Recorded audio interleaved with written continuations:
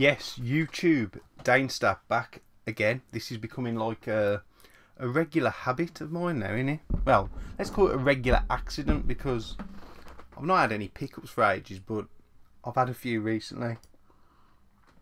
On the squash because I need to keep myself hydrated for tonight. So this isn't just a pickups video. We'll call it um, an updates video because uh, tonight, returning for a one-time special live from lockdown, is back. Basically, you all remember I did the streams during lockdown. I can't do it every night like I did back then. So we're going to start off tonight with a one-off special. Great lineup of guests, more guests than I ever had on at one time before. So it could descend into chaos, which is fun. I like chaos. So tonight, 9 o'clock on this channel, live from lockdown. It's called Bandits and Bootleggers, so that gives away some of my uh, guests for sure. But we're just going to have a few beers, talk some gaming, talk whatever's on our mind. With the lineup, it could be fucking anything really, if I'm honest. Am I going to do any more? I don't know. I don't want to promise something that I can't fulfill. Uh, I might do them as a Saturday special. I might do four over the lockdown. You know, the lockdown that runs to December, but the furlough scheme runs till March. I'll let you lot decide on that. So anyway, I've, I've been having some pickups. I'll start with the biggest one of the lot, and the reason I want to get this out already is because some of the items have gone to other YouTubers, so the stuff that's not going to be here because I've already sold it from the bundle that I bought. I don't want to give away who to, and obviously I don't want to give away what items I uh, moved on.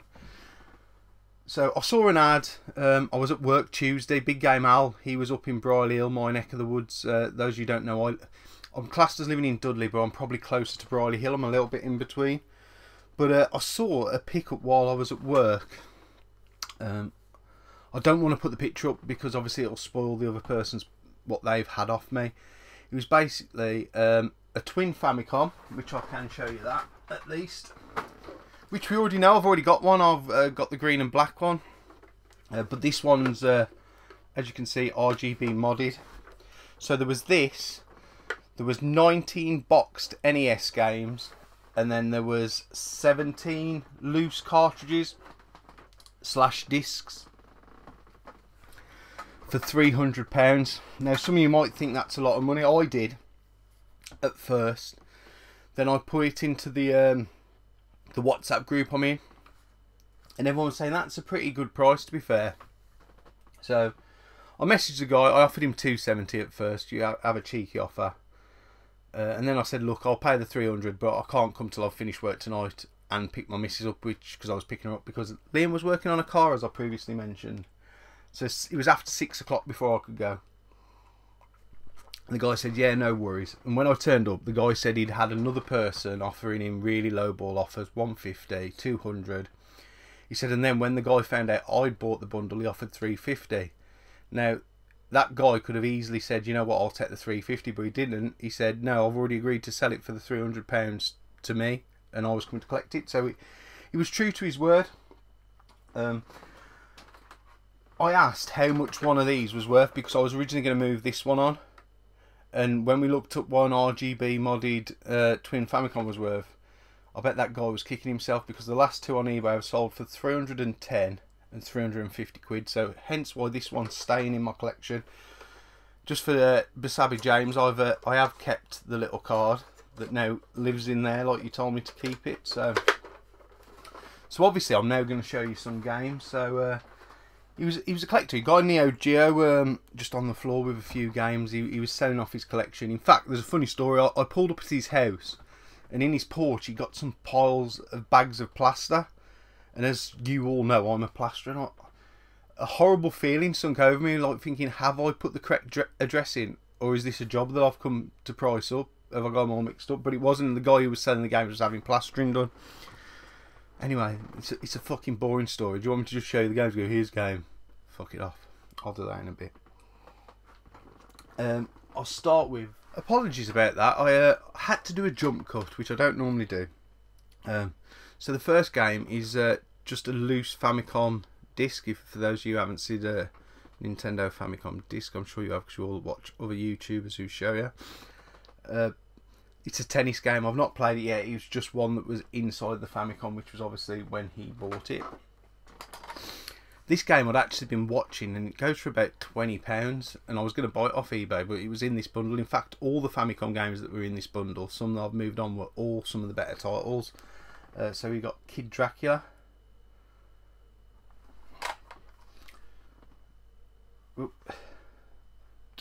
So it's a Konami game, can see if it wants to focus. And obviously, because he got NES games, uh, he got the converter. So basically, I, I plug this into. I think I can obviously plug it into the Twin Famicom, but I can also plug this into my top loader and play um, PAL and NTSC American NES games through my uh, Famicom. Sometimes he says they run at the wrong uh, frame rate, like so. He said he's trial and error. He said Batman's one that runs way too fast. You can tell by the music. But again, that's probably another twenty pound item to go in with what I'd already picked up. So I'll move on to the NES games. I think nearly all of them are PAL except for a couple, which I'll, I'll point out. So we've got Pinbot, which I haven't tried, but I'm guessing it's a pinball game. Uh, Tech Tecmo Bowl. Uh, he actually played this. He, this is one of the American games. He said it's a really good game. He said, "Who did he say if you play as? I think it's if you play as the Rams and get to someone called Bo Jackson. He just runs for miles with it. So I know fuck all about American football other than I like the colours of the Miami Dolphins. All these are games, by the way, that I don't have in my collection. That well, obviously I do now. They're all going to go into my collection up there. I've upgraded some of my loose games for box games, so uh, those of you in the Discord will know I've offered some for sale. Uh, one I didn't have, which is surprising, is uh, Kid Icarus.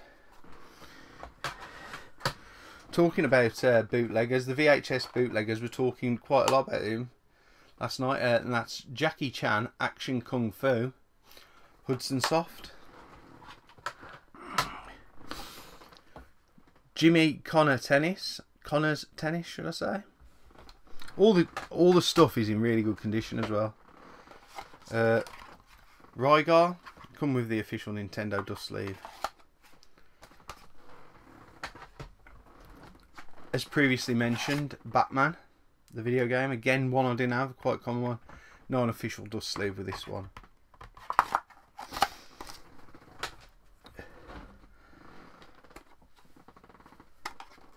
Kickoff. And the Flintstones. The Rescue of Dino and Hoppy. Uh, is what's the American Flintstones game that's worth quite a lot of money? Is it Dinosaur Peak or something? So now we're going to go on to all the box stuff. So what, some of the condition of the box stuff's really, really good. I mean, starting off, these are all box complete except for uh, one of the later games, which I'll tell you hasn't got a manual, but all the rest have. I mean, look at the condition of that. Totally rad. You know, to find NES games in this good a condition is is next to impossible, really.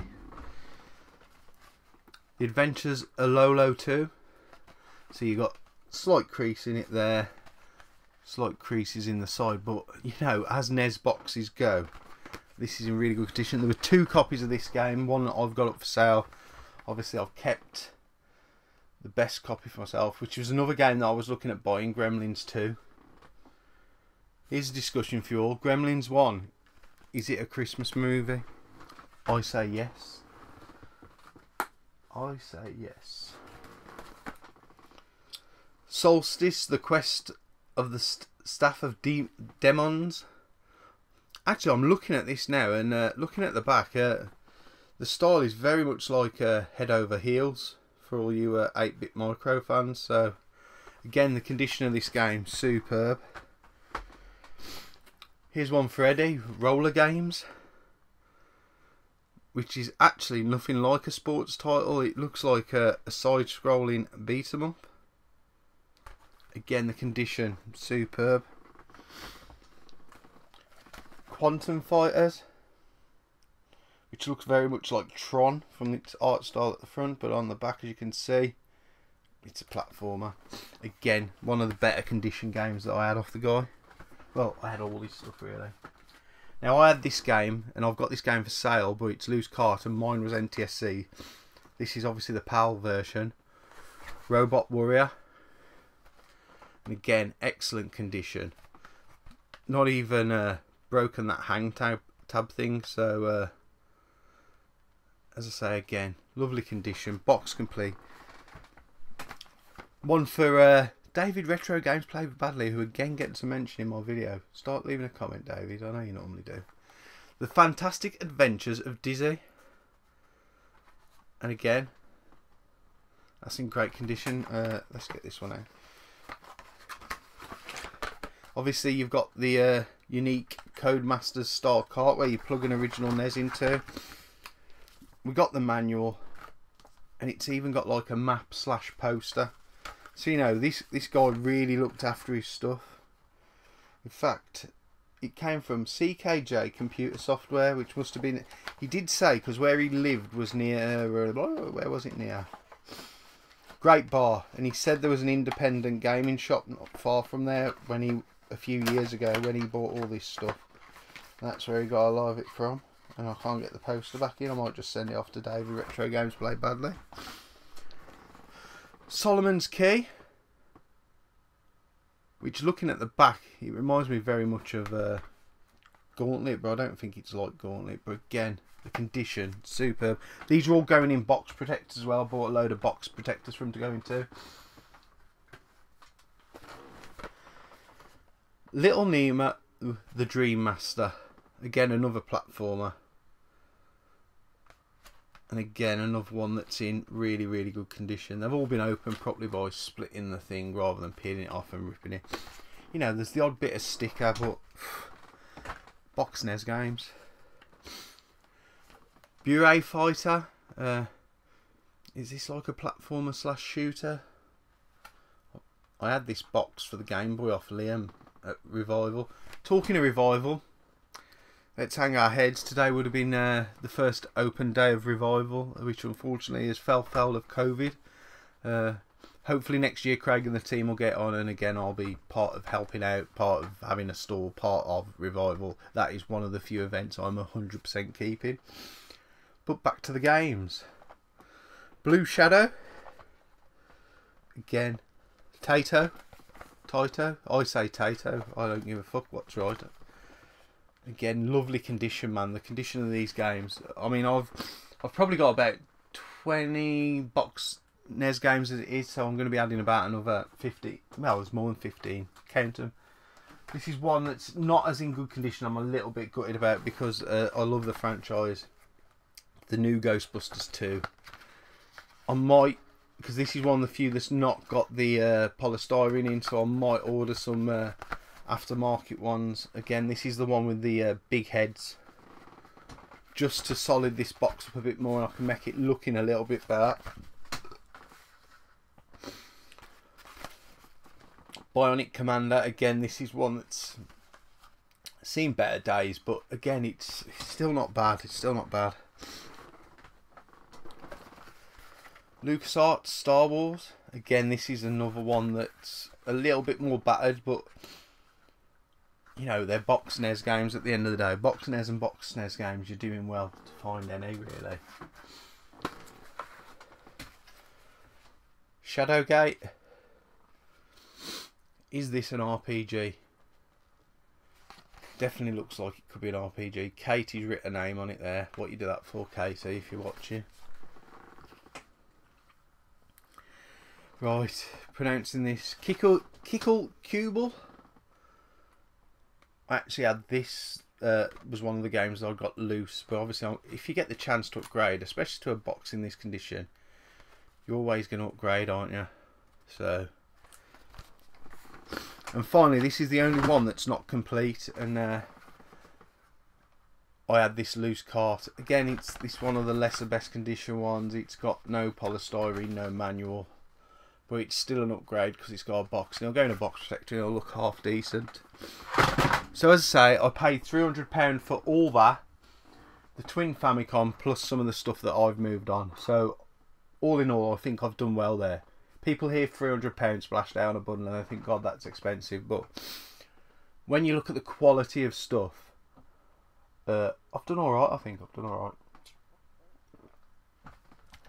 Just a couple of other little pickups before uh, I leave you all. Bored one night on eBay, flicking through. Picked up a load of uh, vintage 80s garbage pail kids. Let me just flick through and show. I might do a video just on these because I used to have a lunchbox. It was a fluorescent green Teenage Mutant Ninja Turtle lunchbox when I was a kid. So you got the uh, decal on the front, then on the box on the back and on the inside, I'd stuck a ton of these as a kid. I used to have these. You used buy them from Mr. Patel's corner shop. Bless Mr. Patel. I, I hope he's still alive actually. But he used to have a little wicker basket, man, and he used to count his change out of it. He used to go, here's your one, your two, your three, Mr. Patel. And then when I was older, he used to sell me beer when I was underage. So all round legend, really. And he, he had the best kids sweet shop, man. Um, everything was on display in a glass counter, and then you got the stickers. So uh, I remember the Thundercats ones with the chewing gum. Uh, obviously the Garbage Pail Kids. Do you remember Slimy Slurps, the He-Man Slimy Slurps? You used to have them sweet shops were, were the bomb back in the day, but it was like the tiniest little sweet. We weren't just sweets, like because he'd have on the left hand side. I remember he got the grocery stuff, and all the old people used to be pissed off that he'd be doing you a, a twenty pence mix because like you got all the fucking sweets and you were doing it, and they wanted to just buy their fucking potatoes or whatever. But yeah, garbage pail kids. And that lunchbox, obviously, when it became a little bit too like uncool to have a lunchbox that was fluorescent green with Ninja Turtles and Garbage Pail Kids on, I used to keep my monster in my pockets in them. I put them all in there and my boglins. And then they went to live in the loft and then probably went to the boot sale and mum and dad sold them. So I love trading cards. I've got a box down here full of all my trading cards from when I was a kid. I've sent some Power Ranger stickers off to someone actually on the Toy Division site to help him complete his album. Uh, but these are as nostalgic for me as anything as a kid. Your uh, your collector's cards, your collector's stickers, and video games and stuff like that. So yeah, I, I bought a load of garbage pail kids. Wanted, fat slob. Look at the size of his face, little face, man. So yeah, fuck all to do with gaming boots. So I picked up it. And the other thing I picked up, uh, this was real cheap. This was four ninety nine plus postage, and I purely bought it for the one thing. So here's the manual for it. It's for the Vectrex soccer soccer football, man.